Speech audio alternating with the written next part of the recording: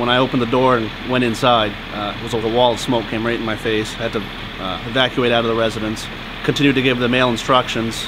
Uh, was a few people that were standing outside. Asked them to try to get a fire extinguisher or something to try to buy some time until the fire department was here. So I made my way up the steps. I tried to make contact, voice contact. I could hear him yelling, "Help me! Help me!" Um, so I, I made entry into the residence on my stomach. Uh, I crawled past or up to the fire room. I could see the fire directly to my right, um, being held back by a door. Heavy, heavy smoke, intense heat, and you just hear the fire crackling all around you.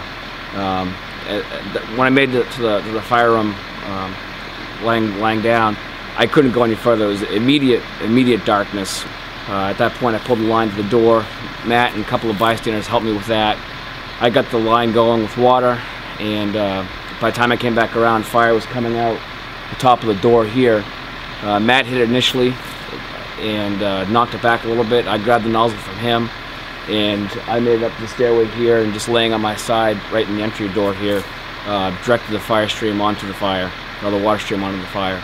He'd laid on the floor in the entry with the door open. It left, uh, you know, it brought some of the smoke off the floor for him to. He was laying on the floor, just trying to cool that that hallway down uh, to the room where the individual was, and and we were we were masked up and ready to go. When we got there, we ran up onto the steps, and I looked at Pete and I said, "Where where is the guy?"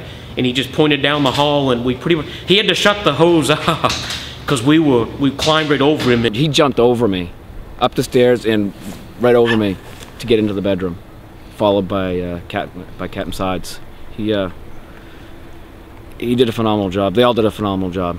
You know, I, I can't say enough for, for either one of them. It was a fairly small room, so we stayed to the wall and circled it, and uh, the captain went the other direction. As I found the victim, he came upon uh, the other end of the victim. One thing I think that really made a difference here was everything worked out right for us. You know, um, again, one of the full-time firefighters, I was at station already.